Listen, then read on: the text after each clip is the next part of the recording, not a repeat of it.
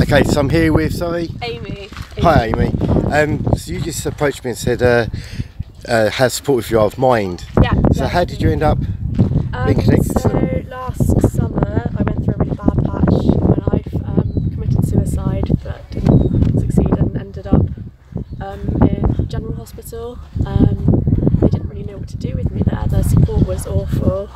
And then I ended up being supported by Mind when I got transferred to um, a child psychiatric unit in Bridgewater, um, where I was from at the end of August till December. Um, still being supported by Mind and um, yeah, actually being discharged from mental health services in a couple of weeks. So That's I've made a really good recovery with them. Yeah, Um, did you notice that your feelings changing? definitely.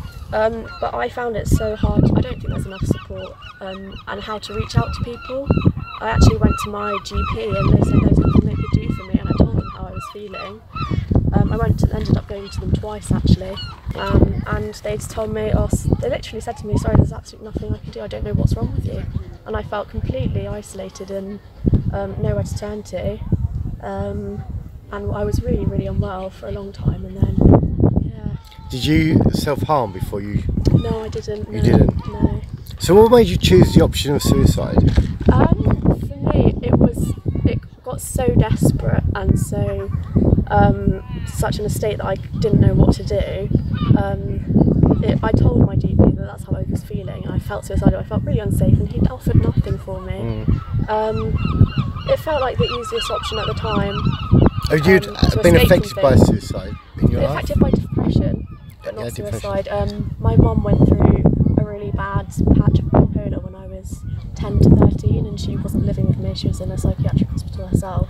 Yeah. So I've grown up with a lot of family, um, kind of with mental health problems as well. Did your mum ever try suicide? Yes, she did. Yeah. Yeah. So um, Um, so had did you see the TV show Thirteen Reasons Why? I did see the TV show. Yes. What do you think about it? Um, I think in a way it raises awareness, which is a really good thing. Um, but it does need to be. I noticed they put on the second season a warning Yeah. a little intro beforehand because I don't think there was enough kind of idea of support behind it. It was just kind of left to people watching. So what about if I if I said to you my feelings to Thirteen Reasons Why? They opened up the option of suicide Yeah. to younger people Yeah. when there wasn't one before. No. So like for yourself, you was opened up to the option of suicide Yeah. because your mum. Yeah. And if you've never had that in your life, No. so do you think it's better to teach positive mental health in schools than suicide awareness in schools? I think.